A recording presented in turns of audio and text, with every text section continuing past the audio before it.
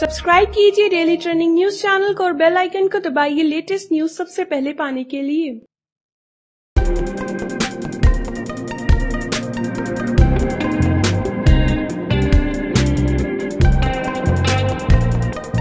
Bharat 2019 world cup में अपने अभियान की शुरुआत 5 जून को दक्षिण अफ्रीका के खिलाफ करेगा। वर्ल्ड कप 2019 इंग्लैंड में 30 मई से 14 जुलाई के बीच खेला जाएगा। और भारत अपने अभियान की शुरुआत 5 जून को करेगा।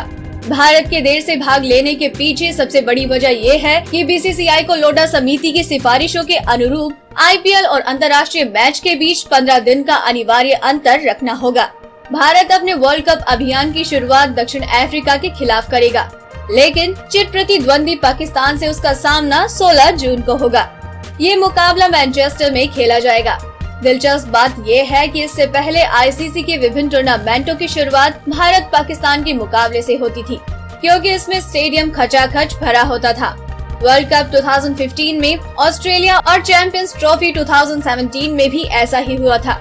भारत ने वर्ल्ड कप में हमेशा पाकिस्तान को हराया है। अगर आपको हमारी ये स्टोरी पसंद आई तो इसे लाइक करें और अपने व्यूज़ हमें कमेंट करके ज़रूर बताएँ। डेली ट्रेंडिंग न्यूज़ की रिपोर्ट। सब्सक्राइब करें हमारा चैनल ऐसे ही लेटेस्ट और इंटरेस्टिंग न्यूज़ के लिए।